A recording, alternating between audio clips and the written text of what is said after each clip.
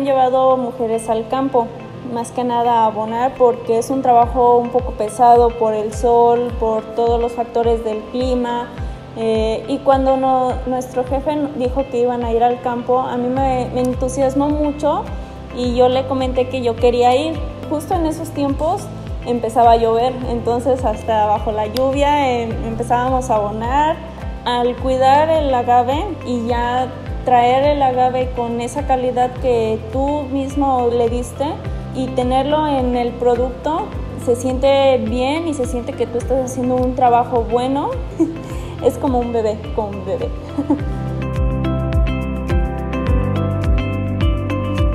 como que me siento lograda el hecho de de que yo, bueno, que el mundo sepa, porque esta empresa va, va, a crecer y que sepan que uno de esos productos, al menos yo lo elaboré, yo lo hice y que, y que esos productos están en una fiesta, en unos 15 años, están en este, no sé, en, la, en una casa y que digan, ah, la ingeniera Dana Guadalupe hizo esos productos.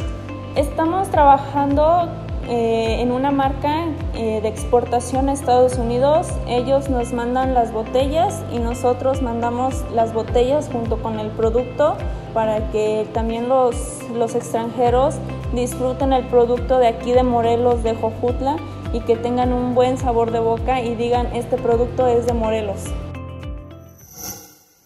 Gobierno de México.